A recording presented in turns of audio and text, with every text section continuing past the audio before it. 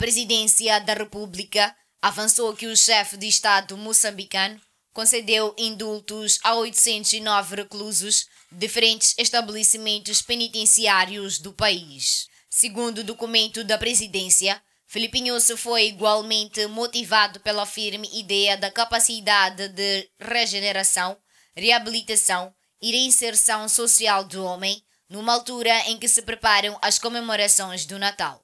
De acordo com os mais recentes dados do Ministério da Justiça, divulgados em 2020, as penitenciárias moçambicanas debatem-se com superlotação, contendo cerca de 21 mil presos, contra uma capacidade instalada de 4.498 pessoas.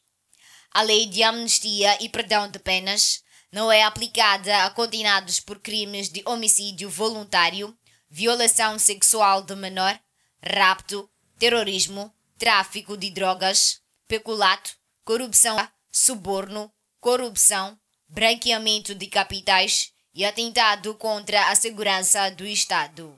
Os beneficiários da amnistia e perdão não devem cometer novos crimes num período de cinco anos, sob pena de cumprirem a parte remanescente da pena, objeto de clemência, além daquela que couber a infração posterior.